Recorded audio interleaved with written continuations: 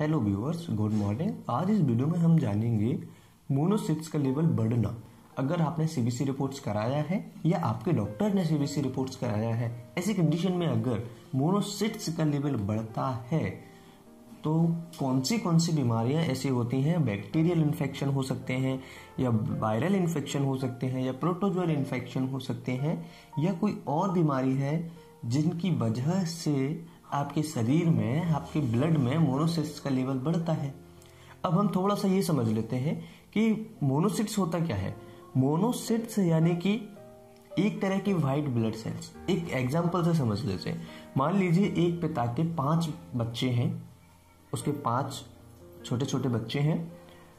अब जो पाँच बच्चे हैं, उनमें से एक बड़ा होगा, फिर एक उससे छोटा होगा, फिर एक उससे छोटा होगा, फिर एक उससे छोटा होगा। यानी कि एज बाय एज वो डिफ्रेंशिएट करते हैं। दूसरा, पाँचों में कुछ ना कुछ यूनिक होगा, यानी उनकी कुछ अलग अलग खासियत होगी पाँचों की। ठीक है? तो इसी तरीके से हमारी व्हाइट ब्लड सेल्स है। हमारे व्हाइट ब्लड सेल्स को अलग अलग पाँच कंपार्टमेंट में उसको डिवाइड कर दिया गया क्लासिफाई कर दिया गया। सबसे पहला कौन सा था? लिम्फोसिट्स मोनोसिट्स इोसोनोफिल्स वेसोफिल्स और न्यूट्रोफिल्स पाँच हो गए? एक, दो, तीन, चार, पाँच। अब हम बात कर लेते हैं मोनोसिट्स के बारे में। मोनोसिट्स एक प्रकार का व्हाइट ब्लड सेल्स ही है। ये कब बढ़ता है हमारे शरीर में? जब कोई बैक्टीरियल इन्फेक्शन होता है। स्पेशली मैं मार्क कर रहा हूँ, आप ध्यान रखना इस बात का। शरीर में कोई बैक्टीरियल इन्फेक्शन अगर होता है तो मोस्टली हमारा मोनोसिट्स भी बढ़ता है।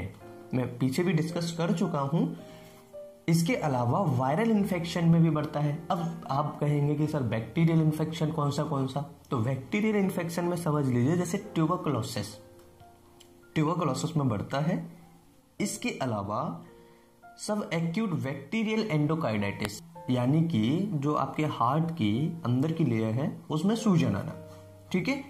इसके अलावा होता है सिफिलिस सिफिलिस आप सभी इससे आ, मेरे हिसाब से परिचित होंगे कि सिफिलिस क्या होता है मुझे बताने की ज़रूरत नहीं है। वायरल इन्फेक्शन इसके अलावा होता है वायरल इन्फेक्शन में भी ये बढ़ता है ठीक है? इसके अलावा प्रोटोजोअल इन्फेक्शन प्रोटोजोअल इन्फेक्शन जैसे मलेरिया है और इसके अलावा होता है रिकेट सेल इन्फेक्शन। प्रोटोजोअल और रिकेट सेल इन्फेक्शन में भी ये बढ़ता है यानी कि मलेरिया हुआ टाइफस हुआ काला आजार हुआ। काला आजार में आई थिंक मैंने अभी जितनी वीडियोस बनाई हैं, उसमें से कोई एक आधी वीडियोस होगी जिसमें मैंने बताया होगा कि काला आजार में कोई सेल्स बढ़ती है। लेकिन यहाँ पर हम बात कर रहे हैं मोनोसिट्स की तो स्पेशली मोनोसिट यहाँ पर बढ़ रहा है, यानी कि रिकेट सेल इन्फेक्शन में बढ़ रहा है। अब काला आजार क्या होता है? काला आजार, यानी कि सेंड फ्लाई जो सेंड फ्लाई वाइट्स होती है, जो मधुमक्खियाँ होती है, जो घर में जो मक्खियाँ होती हैं, उनके द्वारा फैलता है। ठीक है? अब हम बात करें ग्लैंडुलर फीवर के बारे में। ग्लैंडुलर फीवर यानी कि आपके शरीर में एक ऐसा वायरस पहुँच चुका है जो आपके ग्लैंड्स को, आपके लिम्फेटिक सिस्टम को, लिम्फ नोड्स को ज़्यादा प्रभावित कर रहा है। इस वायरस का नाम होता है ई बी वी यानी कि इपिस्टीन वार वायरस।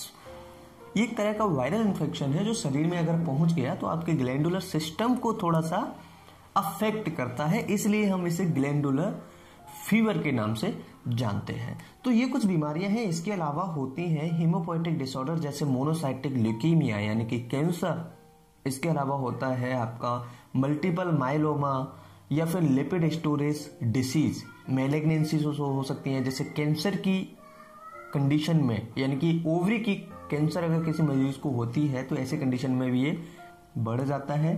इसके अलावा इन्फ्लामेटरी वॉवल डिसीज में भी ये बढ़ सकता है और कॉलेजन वैस्कुलर डिसीज में भी ये बढ़ सकता है। एक बार रिव्यू कर लेते हैं हम रिपीट से। कौन सी कौन सी ऐसी बीमारियाँ हैं जिनमें ये बढ़ता है? ट्यूबरक्लोसिस हुआ सिफिलिस हुआ मलेरिया हुआ, काला आजार हुआ ग्लैंडुलर फीवर हुआ। इसके अलावा सब एक्यूट बैक्टीरियल एंडोकार्डाइटिस हुआ वायरल इन्फेक्शन हुआ प्रोटोजोअल रिकेट्सियल यानी कि मलेरिया टाइफस और काला आजार हुआ। इसके अलावा लिकीमिया मोनोसाइटिक लिकीमिया यानी कि ब्लड कैंसर में भी ये बढ़ जाता है कभी कभी स्पेशली मोनोसाइटिक लिकीमिया मेलेग्नेंसीज जैसे ओवरी स्टमक और ब्रेस्ट की कैंसर किसी को होती है, ऐसी कंडीशन में भी बढ़ सकता है। इसके अलावा ग्रेनुलोमेटस डिसीजेज जैसे कि सार्कोडासिस और इन्फ्लोमेटरी बॉवल डिसीज में भी ये बढ़ जाता है। इसके अलावा कॉलेजन वेस्कुलर डिसीज में भी ये बढ़ता है। आई होप वीडियो पसंद आया होगा। वीडियो पसंद आए तो लाइक ज़रूर करना, चैनल को सब्सक्राइब ज़रूर करना हमारी इसी तरह की वीडियो देखने के लिए। और अगर आपने अभी तक दोस्तों के साथ शेयर नहीं किया तो प्लीज़ शेयर कीजिए। मैं ऐसा करता हूँ कि वीडियो से आपने बहुत कुछ सीखा होगा और ये वीडियो आपके लिए बहुत ही हेल्पफुल होगा, बहुत ही लाभदायक होगा। यानी कि इस टॉपिक से रिलेटेड आपके सारे कंफ्यूजन क्लियर हो गए होंगे। चलते चलते बताता हूँ मोनोसिट्स का लेवल अगर बढ़ता है तो इसे कहते हैं मोनोसाइटोसिस और अगर मोनोसिट्स का लेवल कम होता है तो इसे कहते हैं मोनोसाइटोपीनिया ठीक है? आई होप सारे टॉपिक्स इस सीबीसी रिलेटेड से आपके कंफ्यूजन और टॉपिक्स क्लियर होते जा रहे होंगे। मैं फिर मिलूँगा इसी तरह के नए टॉपिक में, तब तक के लिए इजाज़त दीजिए। Bye take care thank you for watching